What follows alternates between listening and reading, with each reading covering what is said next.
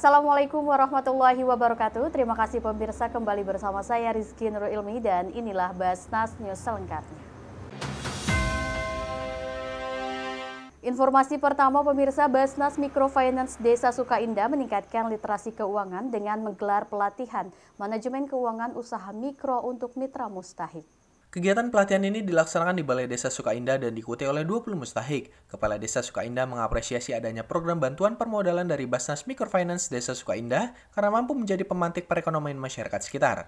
Selain permodalan, adanya pelatihan-pelatihan peningkatan skill pengelolaan usaha, seperti ini juga secara berkelanjutan akan terus dijalankan. Pelatihan ini diisi oleh pengusaha lokal dan profesional trainer UMKM yang memberikan inspirasi usaha, serta menjelaskan pentingnya penentuan HPP, pencatatan laporan keuangan dalam jalannya usaha dan manfaat yang bisa didapat didapat dengan adanya penguasaan skill manajemen keuangan usaha mikro. Hadirnya program-program dari Basnas Microfinance Desa Sukaindah ini juga sejalan dengan fokus Basnas Kabupaten Bekasi dalam memerangi bank emok atau rentenir yang sangat merusakkan masyarakat.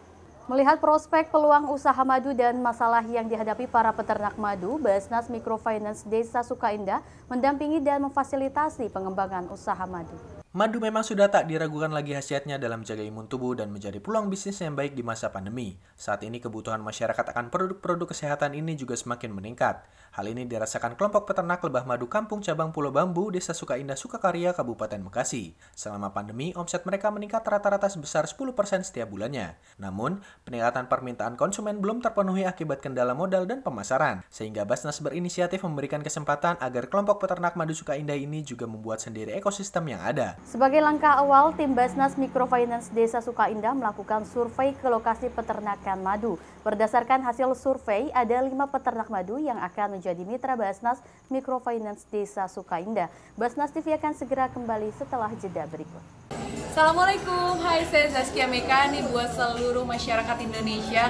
Jangan sampai lupa kita bersihkan harta kita dengan berzakat dan kalau bingung pengen nyalurin zakat ke mana sih? Basnas saja, salah satu lembaga terpercaya di Indonesia. Assalamualaikum warahmatullahi wabarakatuh.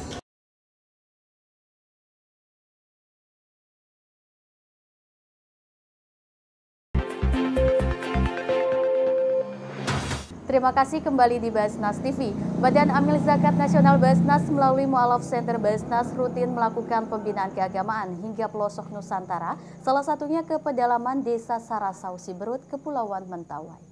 Dai Mualaf Center Basnas tetap semangat bersilaturahmi dan mengisi khutbah Jumat ke salah satu daerah pedalaman di Pulau Siberut, yakni Desa Sarausau, Kepulauan Mentawai. Dengan perjalanan menggunakan perahu pongpong, melewati hutan bakau dan tepian laut. Dai menyampaikan khutbah Jumat tentang menjaga dan mengkokohkan keimanan. Meskipun di pelosok Nusantara, Basnas menginginkan kegiatan pendidikan keagamaan di Serausau tetap rutin dilakukan dan diamalkan sehari-hari. Selain itu, dengan rutinnya dilakukan pembinaan pendidikan keagamaan, diharapkan dapat menguatkan iman dan takwa dalam berbagai kondisi, khususnya bagi masyarakat Sarasau Kepulauan Mentawai. Informasi ini menjadi penutup jumpa kita. Terus saksikan Basnas TV setiap harinya dengan berita menarik seputar kebangkitan zakat.